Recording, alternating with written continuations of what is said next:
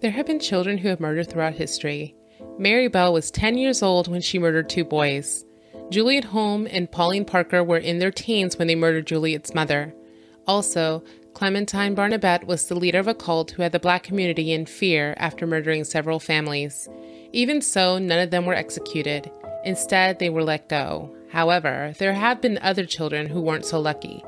George Stinney was 14 years old when he was executed on the electric chair for allegedly murdering two little girls. There are thoughts that he was innocent, and 70 years later, the conviction was overturned.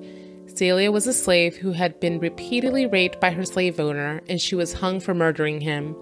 In the late 1700s, there was 12 year old Hannah Ocuish. She was executed for the murder of a six year old girl.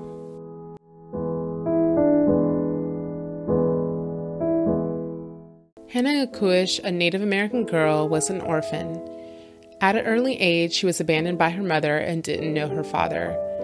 It was said that she was not mentally sound, and it seemed like there was thoughts that she had a mental disability but there this was the late 1700s and there aren't many artifacts on hannah before the crime.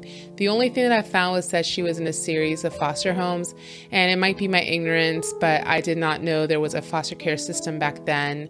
I believe maybe if there was it's definitely not in the form that we have today but i did find that interesting in June 1786, Hannah Ocuish had her encounter with Eunice Bolles, her victim.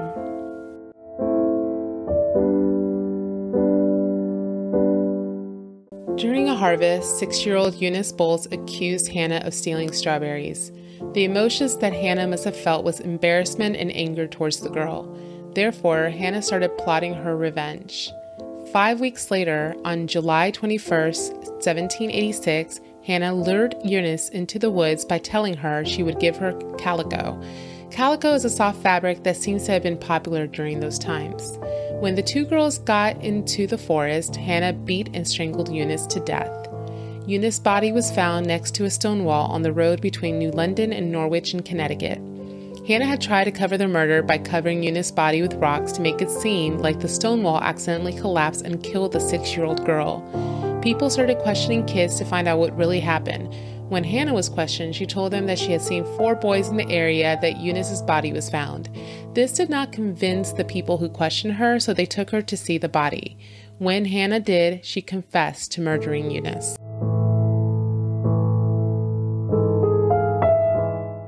Twelve year old Hannah Ocuish stood trial. Even though many thought she was not fit to stand trial due to her disability, the judge didn't care. He sentenced her to hang. His reasoning was that her execution would be a message to the local community. She was Native American, so now I wonder if the local community was the Native Americans, and I wouldn't put it past the people back in those times. So it might be that, or it just might be the community that they all lived in. I don't know what that actually meant. Throughout the entire trial, Hannah didn't show any emotion to the point that it was said she seemed unconcerned. On December 20th, 1786, Hannah stood in front of the old meeting house where a crowd had gathered. While she was walking to the hanging rope, Hannah was silent, but her eyes said another story. It was said that it seemed she had fear in her eyes and she kept trying to look around, hoping that someone would rescue her. In front of all those people, 12 year old Hannah Ocuish was executed by hanging after thanking the sheriff for his kindness. Her execution is the last execution in Connecticut's history. She is also thought to be the youngest female to be executed in U.S. history.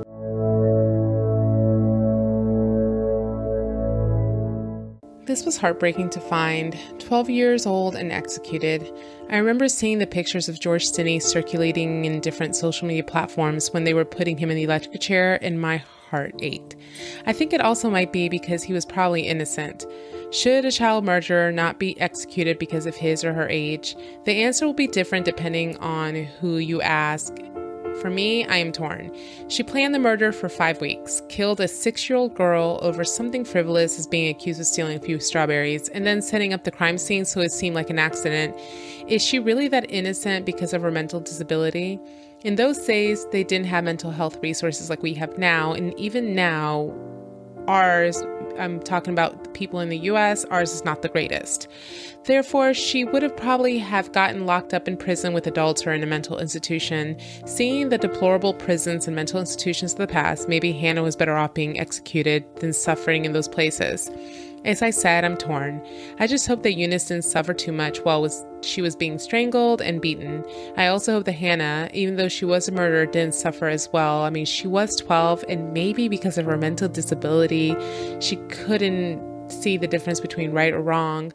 I don't know, because it's weird that she was able to plot the murder for five weeks and come up with a plan to try to stage it as an accident. I don't know. I would love to hear what other people thought because this one was just a little hard for me to f- figure out if I feel it was right that she was executed and you know put in prison at 12 years old or I don't know. It just was very hard to figure to like figure out for me what I thought should have been done. Thanks again for watching the video. If you like the content, please consider subscribing, hitting the notification bell, and also sharing it with someone.